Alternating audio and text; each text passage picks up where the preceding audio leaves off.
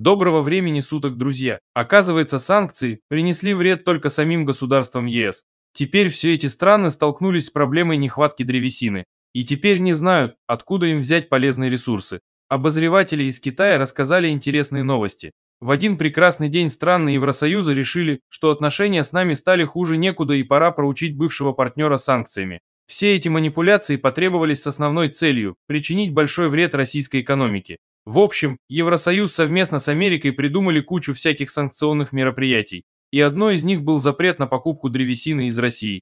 Но в результате страны Европы попали в очень скользкую ситуацию из-за России, а ответ от бывших русских партнеров вызвал бурные реакции со стороны европейцев. Вот, что рассказывают журналисты издания Баяха. Сначала в Евросоюзе очень много шутили по поводу того, как придуманные санкции сразят медведя, и что экономика сдаст свои позиции на многие десятки лет назад. Но ожидания не оправдались, и Евросоюзу стало не до смеха. Теперь вдруг возникла острая необходимость в русском лесе, который, как оказалось, больше негде взять. Сейчас радуется Россия, а Европа ищет пути для приобретения ценного материала. Но пока безрезультатно. Как утверждают журналисты китайских изданий, в Евросоюзе наблюдается острая нехватка древесины. Сейчас сырья на европейском рынке очень мало и стоит оно дороговато. Самый главный поставщик этого материала на территории Европы – это Швеция но запасов не хватает на все государства ЕС. Китай также отказался от сотрудничества в этом направлении. После того, как Россия перестала поставлять важный ресурс в страны ЕС, ее место заняла Поднебесная. Но в связи с последними событиями эта страна также снизила объемы поставок в европейские государства. В результате Евросоюз осознал свою ошибку и пожалел, что так опрометчиво разорвал отношения с важным партнером. Ведь древесину пока что брать негде, а этот материал так важен для изготовления мебели и проведения строительных работ. Планы Евросоюза по поводу больших убытков в Российской Федерации не сбылись. А наша страна как занималась поставками древесины, так и продолжает это делать. Но только поменяла рынки сбыта. Теперь основные покупатели – это территории Центральной и Восточной Азии. Сотрудники китайских СМИ отмечают, что Евросоюзу очень не нравится, как идут дела у нас. Потому что совсем неплохо, как они надеялись. А вот Европе сейчас приходится приобретать лес по очень высоким ценам. А ваши, какое мнение по этому поводу? Пишите в комментариях и подписывайтесь на мой канал. До свидания, друзья. Не уверен, что кто-то из вас внимательно следит за моими новостями. Но в любом случае уверен, что не будет лишним напомнить. В 1914 году Владимир Ленин написал статью о национальной гордости, которую либералы в начале перестройки начали буро обсуждать и обвинили вождя всех возможных грехах. Небольшой экскурс в историю необходим для понимания ситуации. Давно пришло время, когда необходимо понять независимо от периода времени, что окружающий мир воспринимает нас и винит в других подобных грехах. Опять же, небольшой экскурс в историю Казахстана не было бы как государства, а казахов как национальности, если бы не усилия царской Российской империи. Фактически этот народ не было бы. Теперь с тех времен утекло много воды и в благодарность народ Казахстана стал благодарить Россию культивированием национального превосходства над остальными народами бывшего СССР в прошлом. А в настоящее время они начали предъявлять требования к России, повышение арендной платы за Байконур, развернуть реки Сибири в их сторону и много чего еще. На мой взгляд, поведение руководства Казахстана напоминает 90 годы в России, почувствовав безнаказанность и поддержку Запада, начали заниматься вымогательством.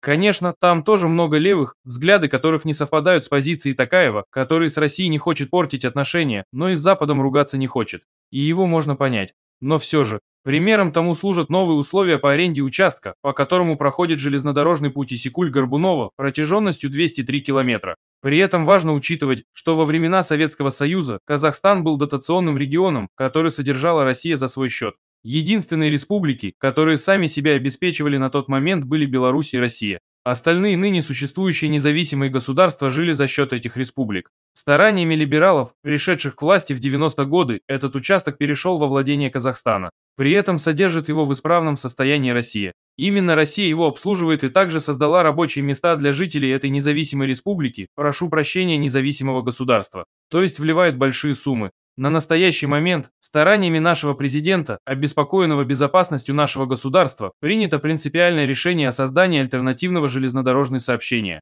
Так Казахстану было показано, что денег на содержание этого участка больше не будет. И данная инициатива преследует несколько целей. Поскольку железнодорожная дорога будет пролегать по территории России, отпадает необходимость платить аренду Казахстану. Во-вторых, этот проект создаст рабочие места для россиян. В-третьих, это безопасность нашей страны во всех предполагаемых смыслах. Дорога будет проложена по территории Курганской, Тюменской, Омской и Новосибирской области, путь Коновалова, Татарская. Кроме вышеперечисленных преимуществ, этот путь, имеющий важное значение, объединит европейскую часть России с Восточной Сибирью и Дальним Востоком. Таким решением Россия, кроме экономической выгоды, получила и преимущество. Казахстану со всей его многовекторностью стоит задуматься, куда он придет со своим национализмом. А вы что думаете по этому поводу? Друзья, пишите в комментариях и обязательно подпишитесь на канал, чтобы не пропустить свежие новости. Итак, недавно японцы обратились к России и сообщили, что наш маяк на острове Сигнальный, Малая Курильская гряда вдруг перестал работать и теперь японское судоходство в этом районе испытывает сложности.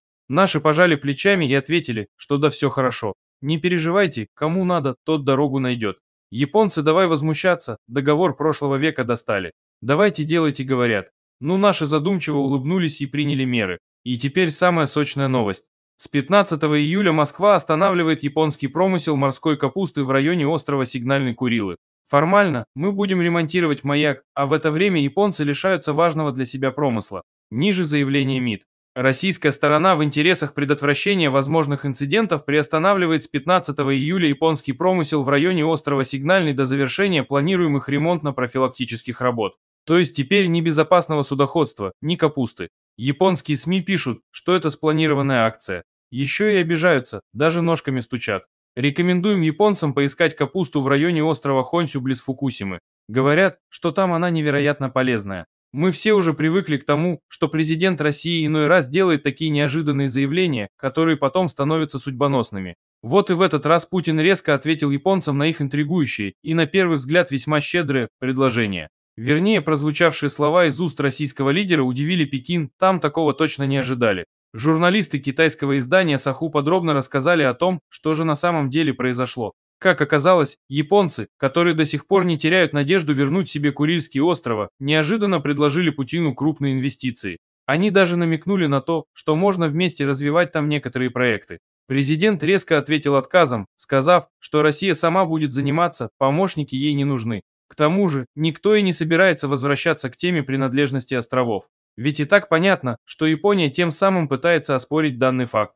Всем известно, что японцы не прекращают считать Курильские острова своими северными территориями. По задумке, которая закладывалась в это инвестиционное предложение, по бумагах они не претендовали на эти территории, однако планировали постепенно приучать людей к мысли о том, что эти земли принадлежат Японии. Таким образом, они хотели мягко и без лишних волнений присвоить себе острова в ближайшие десятилетия. Однако Путин дал понять, что никто с ними ничего подобного обсуждать не будет.